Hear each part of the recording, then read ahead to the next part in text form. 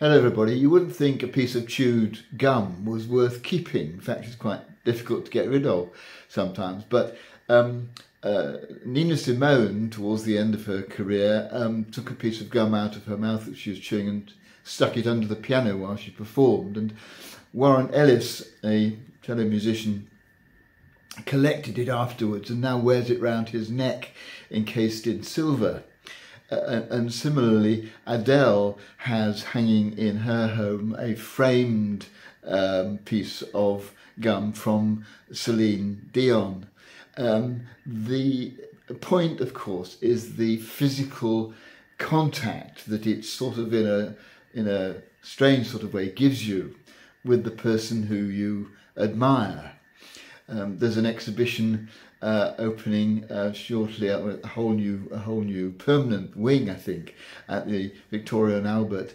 Um, of, of, David Bowie's um, memorabilia, I, physical things that people have collected over the years that that speak of him.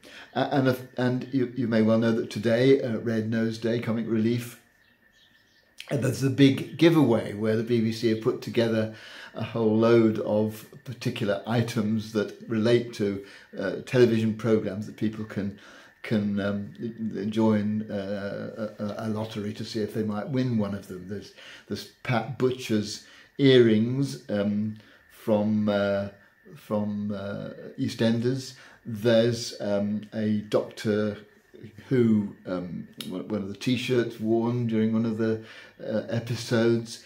Um, the, the, the one that appeals to me most is Monty Don's um, wheelbarrow. Um, a whole load of, of, of, items like that that relate to particular television programs. Um, you know, a pointless winner's trophy and so on. Uh, uh, but the, the, the, the, appeal of, of winning one of these is that it'll give you that physical contact with the, the, the person that you've watched on television or the program that you like. And uh, of course, it, it's true, isn't it, that increasingly things are not being uh, experienced physically. Um, birthday cards uh, are gradually disappearing, uh, I, am sad to say. Uh, people send their greetings now online. Um, photographs, uh, generally speaking, are not physical things. They're things you have on your, your phone or your, or your laptop.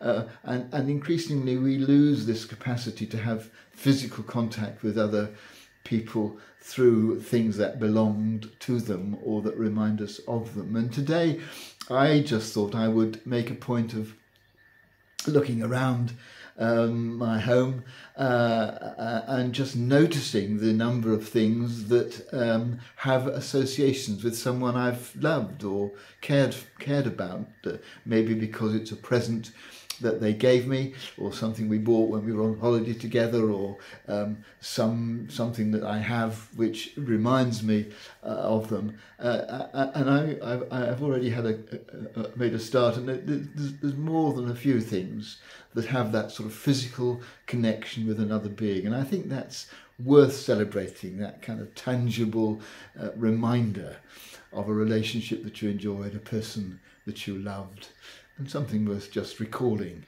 as we go through today.